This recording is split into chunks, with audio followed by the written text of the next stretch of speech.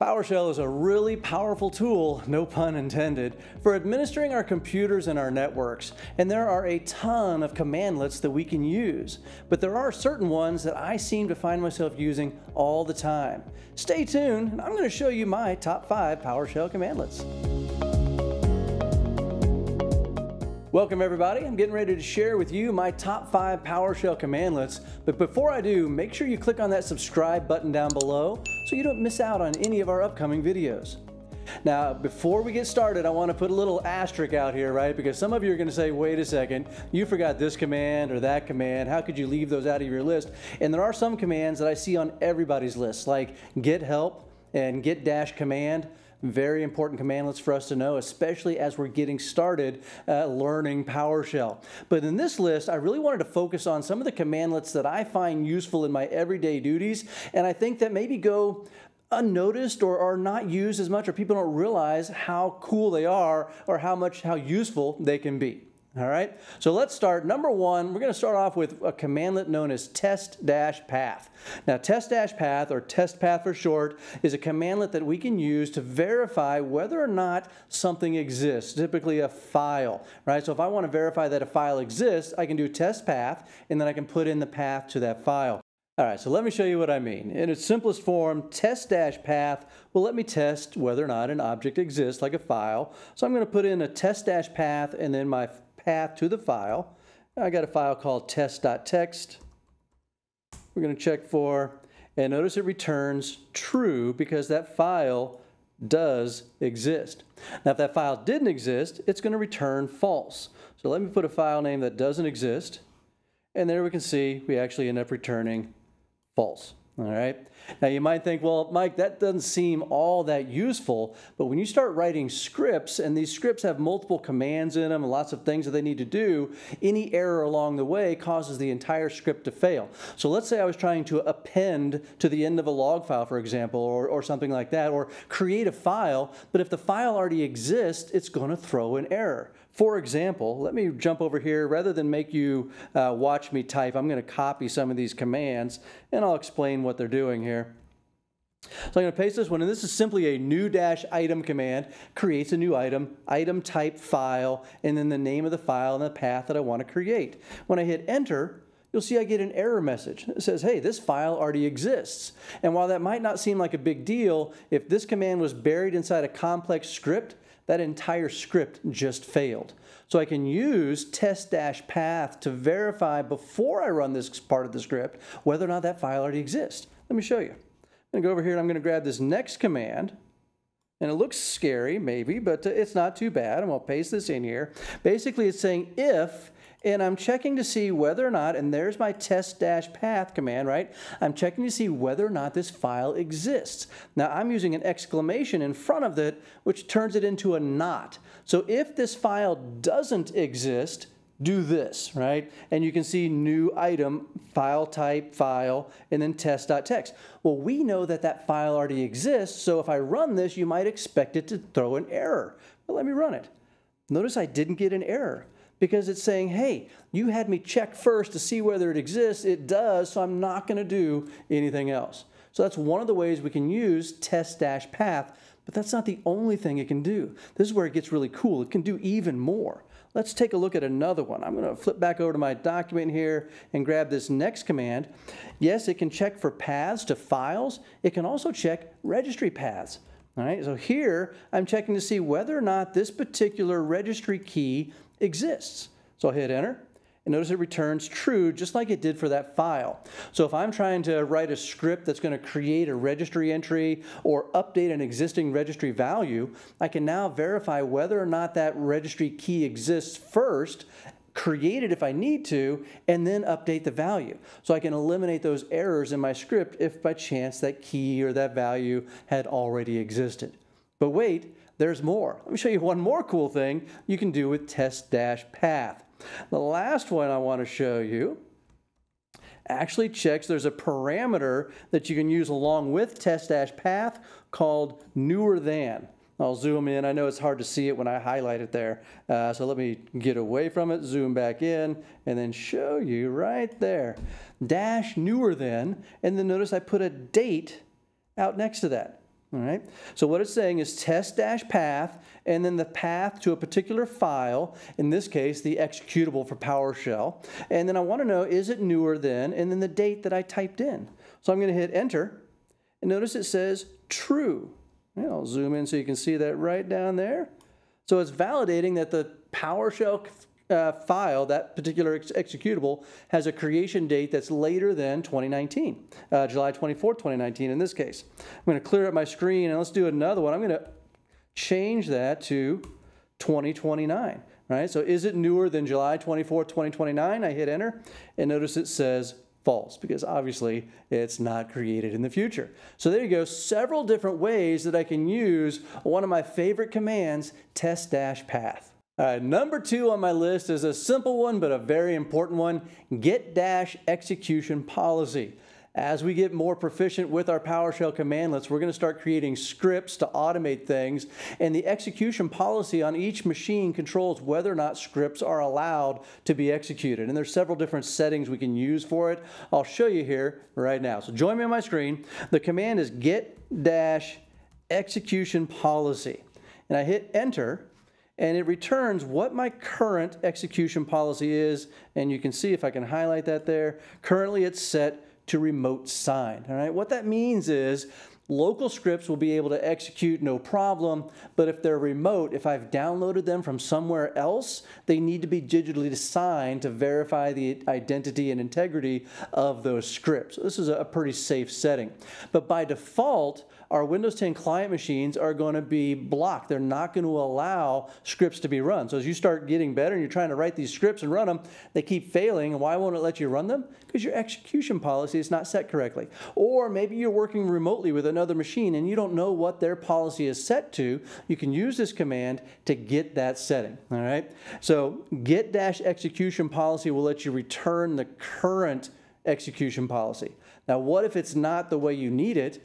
You can use the set dash execution policy. So a little bonus commandlet here, right? Uh, we're going to change my get to set dash execution policy. And then you would do dash execution policy and I'm going to hit tab and you'll see that it cycles through all the different possible values for the execution policy. So if you want to set that to restricted, which is blocking all uh, scripts, change that to unrestricted don't do that. That allows all scripts where no matter where they came from all right all signed even local scripts would have to be signed. Bypass lets you temporarily bypass your execution policy default just defaults to like for Windows 10, uh, it would be restricted. For Windows Server 2019, I believe it's it's remote signed would be the default, but it just sets it back to whatever the default is. The point is, is you can change your execution policy. Now I don't want to change mine. I'm going to leave it on remote signed, but another one of those commands that I find very, very useful, especially when I'm working with machines that I'm not familiar with. I need to know what their execution policy is, and I need to be able to change it so that I can run my scripts. All right, number three on my top five list is going to be Get Dash Credential. Now, this is one I find myself using all of the time because when we're working with PowerShell, and especially when we're working with remote machines, machines that are part of another domain, or if my laptop, for example, in, in my case, it's not part of my work domain. And so when I connect to these other machines using PowerShell, I need to provide credentials. I need to provide a username and a password. Get credential allows me to enter in a username and password and store it as an object. And then I can use that object as I execute other commands. I don't have to continue to type in my username and password every time. Really, really handy. All right, so let's see how it works. Get dash credential all right. If I hit enter, it's going to prompt me for a username. So I would enter in my username. In this case, demo is the name of my domain, uh, and then Mike is my username. I hit enter, and then my password, and I'll type it in, and I hit enter. And notice it stores that, and notice you cannot see the password either. It stores it as a secure string. All right. Now, That might seem really cool, but here's the problem. Because I didn't store that anywhere, I simply ran the command, it's not really usable. So we're gonna add a little bit to this to make it more useful, and then we'll see how it works as we work our way down that top five list. I'm going to throw in a bonus command. Most of you should know this by now, uh, but I'm at the bottom of my screen, my PowerShell window. I really like working at the top. Makes it easier for you all to see as well. Clear screen, and the alias for that is CLS and that clears all that stuff on my screen and puts me back to the top. So a little bonus one for you. We won't count that in the top five.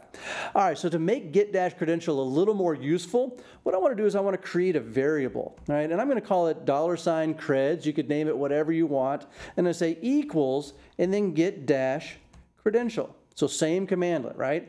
Now when I hit enter, it works the same way. I type in demo slash Mike, and then I type in my password,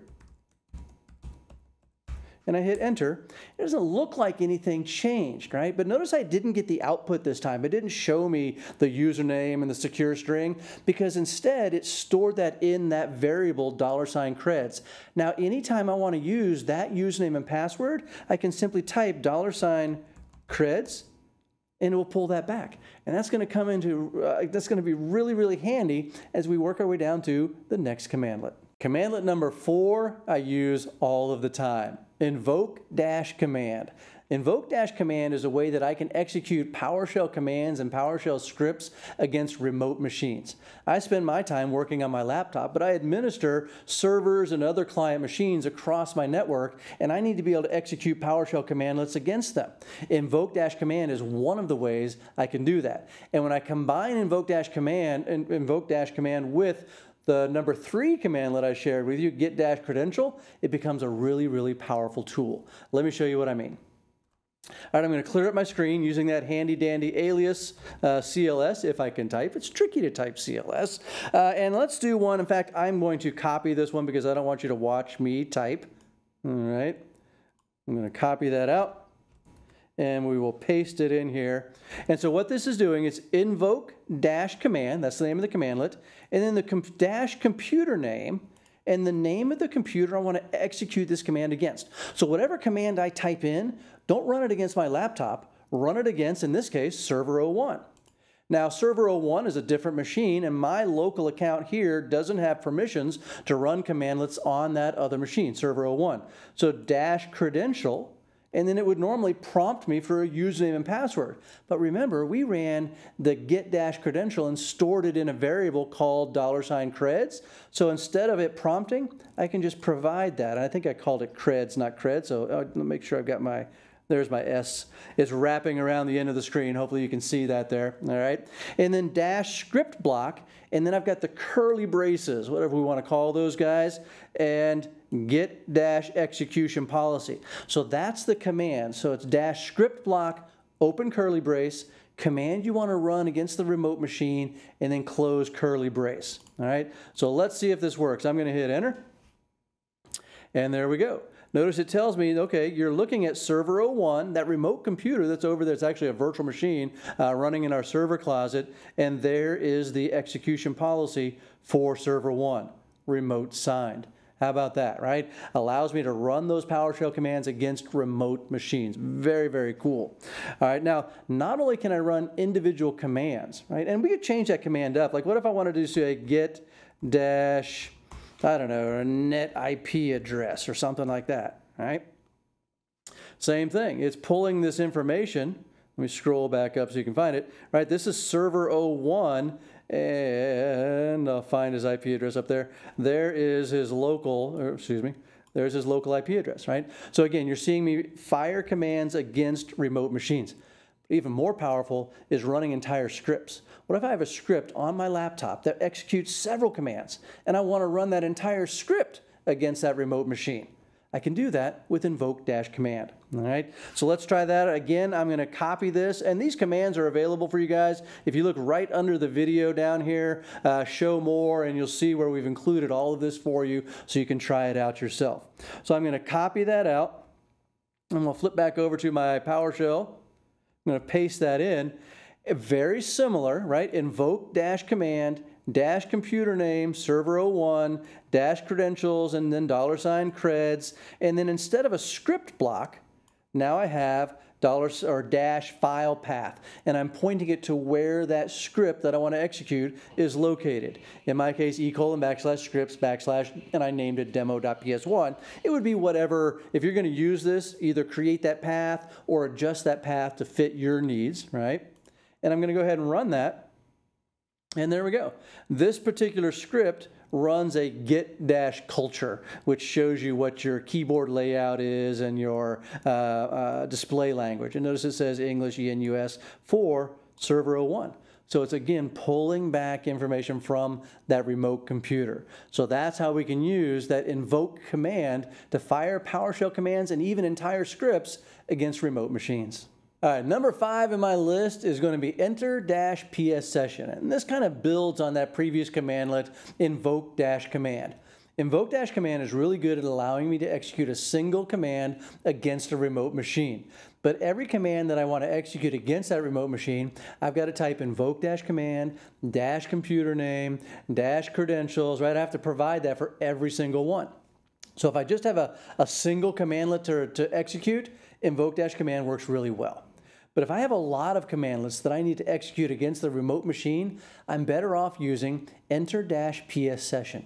This is a lot like remote desktop, but for PowerShell. It allows me to connect to a PowerShell window on the remote machine. And then once I'm connected to that, everything I type is executed against the remote machine. But I don't have to tell it invoke command every time. I don't have to tell it the name of the computer every single time. Let me show you what I mean. So the commandlet is going to be enter dash PS session, the name of the computer that you want to establish the session with. In my case, that's going to be computer name uh, SVR01. And then the credentials, right? The username and password for somebody that has permissions to connect to that remote machine. Now remember our, our number three, I think it was in the list, get dash credential. Now you're seeing why I find that one so useful because we're going to use it again here and use that dollar sign creds where I've already stored my username and my password. So we'll hit enter, and there we go. We are now connected. And you can see my prompt has changed. Before I ran that commandlet, I was Mike at itpro.tv. But now that I've run the commandlet, my prompt says server 01. So that's letting me know, hey, you are now connected to server 1, and anything you type is going to be executed against server 1. Let me show you. If I type in host name, right, it doesn't return the name of my laptop oops, as I cross it out there, uh, it returns server one, right? Because I'm, ex I'm executing this against that remote machine. If I type in, I don't know, get dash execution policy, right? It returns the execution policy not of my laptop, but of the remote machine. And notice I'm not typing invoke command every time. I'm not having to specify the name of the remote computer or provide credentials every time. I've established this connection, and now everything is being run across that connection. The only thing left to do, so if, if you have multiple commands, this is fantastic. I use this all the time. The one thing I want you to remember with this one is disconnect when you're done, right? Don't leave that session open. Uh, even if you kill the window, right? If I close PowerShell, that session is technically still out there, uh, and we want to do best practices and we want to kill our sessions when we're done. And to do that, it's going to be exit dash PS session. Right, easy enough. Don't have to provide any information. Just hit enter, and I'm back to my normal prompt, Mike at itpro.tv. So enter dash PS session to start that remote connection, and then exit dash PS session to end that remote session. Okay, so those are my top five PowerShell commandlets that I find extremely useful and use all the time. How about you? Do you use these or do you have others that you prefer? Let me know in the comments below. I'd love to hear from you. Don't forget to subscribe to the channel so you don't miss any of our upcoming videos, and we'll see you next time.